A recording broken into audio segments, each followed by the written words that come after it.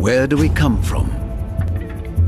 For centuries, the greatest question in the history of man had no scientific answer.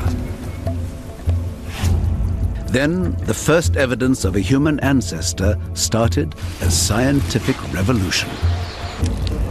This is the story of the quest to find the origins of the human race.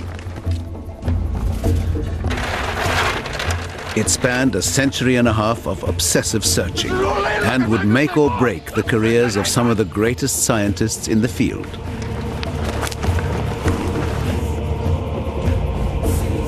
For the lucky few, chance discoveries opened a window on the hidden world of our ancestors.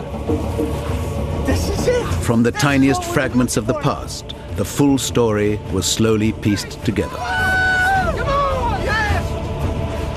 Spanning 300,000 generations, over 3 million years.